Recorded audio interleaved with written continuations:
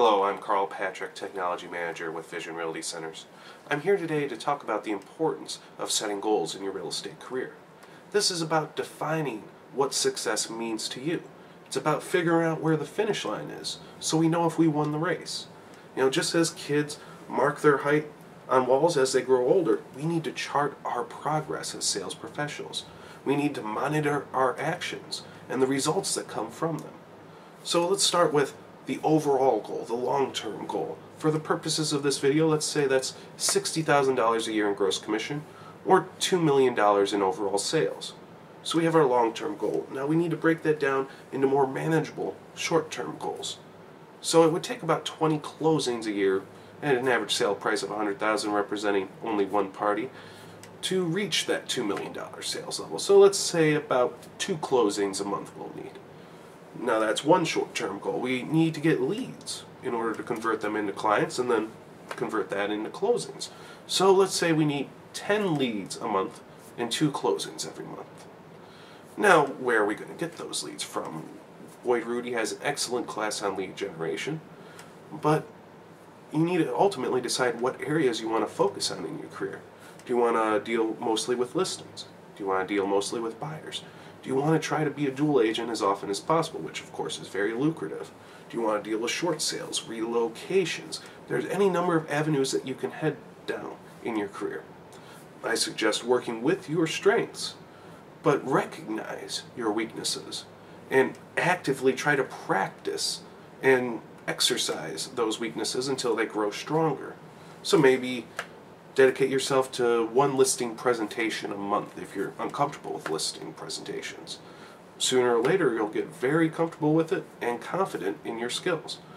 And listings are fairly easy to sell when compared to showing a buyer 20 homes, wasting all that gas, or rather, you, you expensing all that gas.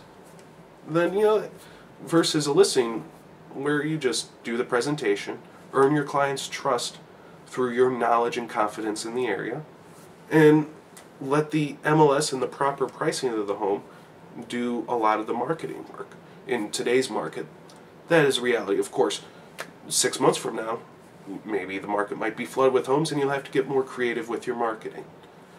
Remember that you need to change your tactics. If you're doing everything you need to do, or at least what you perceive you need to do, to, and you're still not reaching that goal, change your tactics, change your strategy. Don't just give up on your goal yet. Of course, down the line, you might realize that you set way too lofty of a goal, and you should, you know, par that down a little bit. But I feel you should just try something different and see if you can achieve your goal if with a little adjustment in tactics. Remember, insanity is doing the same thing over and over again, expecting different results. So, if at first you don't succeed, try, try something different. So, we have our goals. We need to write them down. We need to place them where we can see them every day, where we can review them and remember what it is we are working for. Maybe have a picture of your family right next to it, or a car or a boat or a home that you'd like to purchase. And there's nothing wrong with motivating yourself with gifts and extravagant homes or whatever it takes to get yourself motivated for success. And goals just define that success, but success is 1% inspiration, 99% perspiration. That goal, that inspiration, that motivation that you're working towards that's nothing compared to the hard work that it will take to reach that goal. So remember to set both long-term and short-term goals. Work with your actions and adjust them if necessary to help meet those goals. Remember, every time you're sitting down to work, ask yourself, how does this contribute to my goal? And be realistic with your goals, but challenge yourself.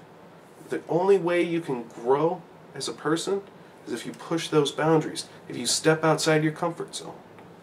So remember, goals are about defining success for you as a person. So if there's any questions, feel free to give me a call or shoot me an email, and good luck out there.